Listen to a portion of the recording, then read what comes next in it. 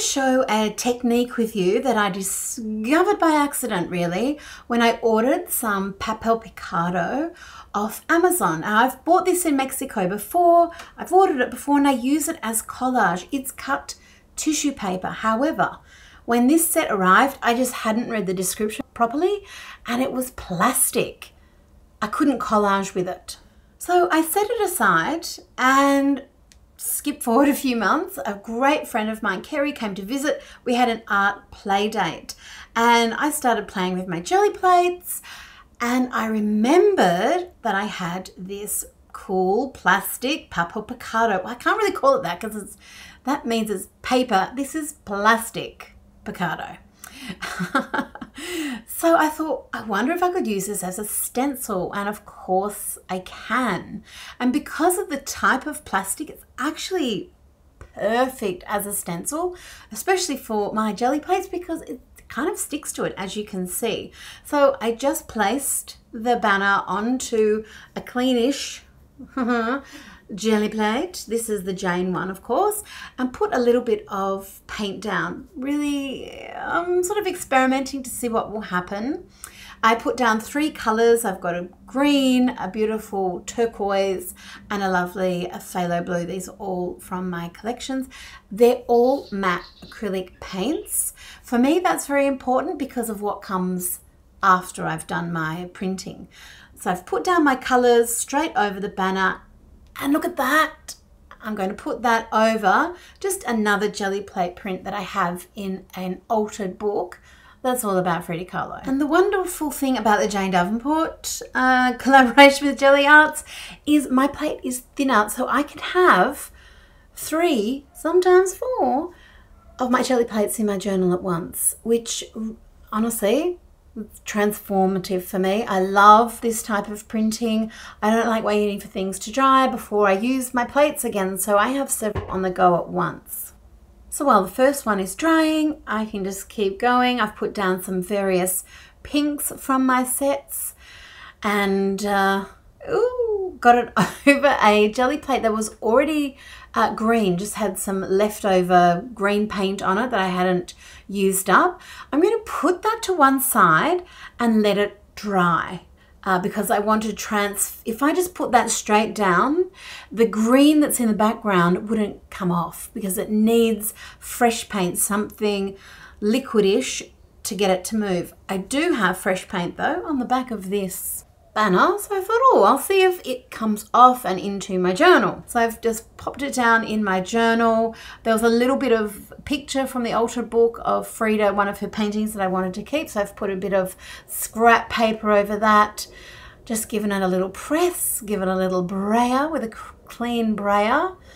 And let's see what we get. Oh, nice. And sitting next to it in the Casa Azul Blue, is actually the proper papel picado that I've used as collage. So I've um, medium that down. So although they're great for collage, they don't really work with this technique because once they get wet with the paint, they just tear when you lift them up and you kind of can still get the impression, but the poor little paper banner is destroyed. And I wanted to do, of course, some printing with this because I just loved it. And I thought how perfect would this be to share in my Creative Prompt Month, February, in the Jane Davenport Mixed Media Art Group on Facebook, and in my Viva La Vida online workshop that is all Frida Kahlo inspired. So I've got a big uh, book here. It's from Layer Cake, another online workshop. It's all about background, uh, backgrounds. And I've got tons of pages in here that are just color and waiting for their next little part of life. And I thought, okay, the paint on this is dry and it's ready for me to transfer across. The paint on the left is very, very absorbent. It's a watercolor paper. So I put some gesso down on it and let it dry off. And then as you can see, when I'm peeling it up, parts of it are not coming up. The print isn't coming up. Now, part of the whole thing with Gelli plate printing is it's not a perfect process and you get this kind of result. um, you know, it can be a bit random, but I really did want the print uh, on there so that I could see the face. So what I did was put down some matte medium next, rolled that out. I think I just had too much gesso on there. Uh, so I've put the matte medium on there and this is why I keep the acetate sheet uh, that comes with your Gelli plate. I keep that on one side so that it keeps it clean and I can see through the plate. That allowed me to line it back up again and I could just sort of, you know, wiggle it around, get it almost, well, looked absolutely perfect um, replacement. Let that dry again uh, actually totally forgot about it. Came back a week later. and oh, I love doing this bit. So obviously I just didn't press down hard enough on that. I've got a little bit missing there, but very delighted with how this looks. It looks so dimensional on the page. When I move my pencils, you'll see. And now I've got a gorgeous spread to work on that uh, has this Frida, is she looking through a window? Is it a dream? Let's see where this art journal page takes me. For a start, I wanted to just complete the pattern that was there. So I'm just using my pencils just to loosely put the color that is missing back over it.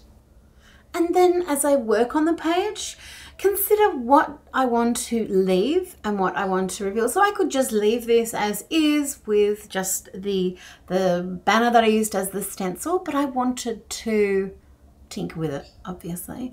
And I did have several versions. So, you know, if I don't like this, it's no big deal. I can go and play it with one of the other versions or just create a whole new one. But I, am using the LTQ, the License to Quill pen. This ink is amazing. It's waterproof. It dries quickly. It's really, really black. Goes on top of everything and just, and it's got that brush tip. Yum. So I can get little fine lines and push down, get a heavier line. I'm also using one of my Storytime white paint pens. They're very, very opaque. The ink, oh, delicious, deluxe. Love it wanted to make her stand out just a little, just a little bit. So I'm doing that with colored pencil. Then decided, oh, the line, no. So I'm blurring it just by fuzzing out the uh, line there with the pencil.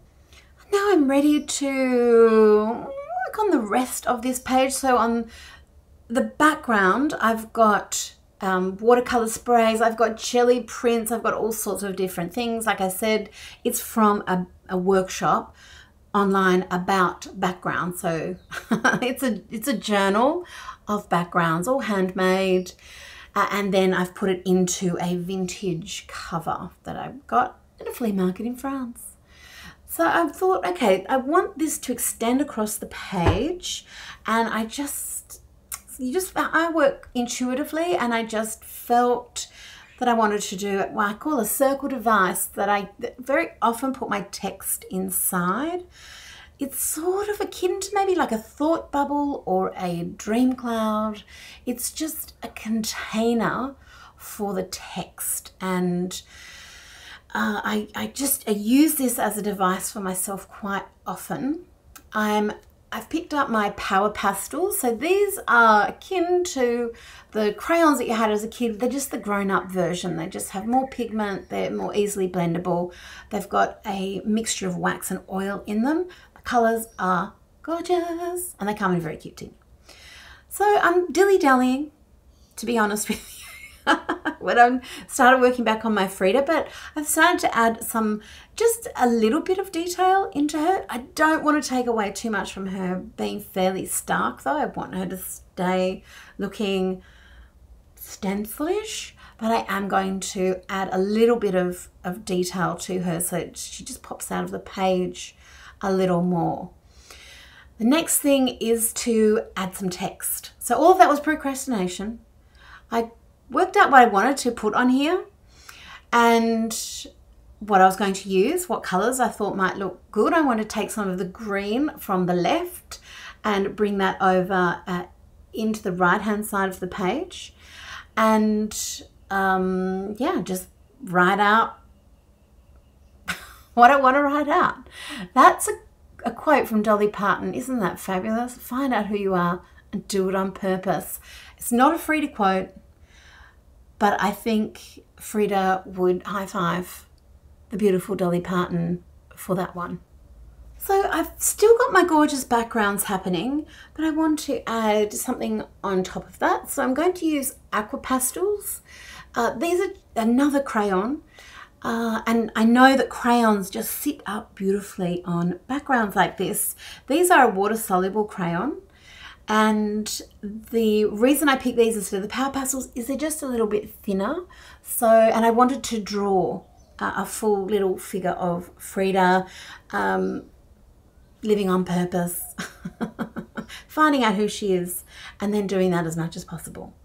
So I'm using my LTQ pen, again dries, just draws straight over the top of waxes and oils and just about anything else that you can throw at it. And also has that nice fine tip and that it's such a dense black ink. I just love these pens just so much. The red lips I did with Ultimate Pen and the big flowers in her hair. And then I also used Aqua Pastels uh, probably threw in a little bit of Power Pastels and just drawing that little figure with the arm out and Frida dancing through life. A little bit of highlight with the Storytime paint pen.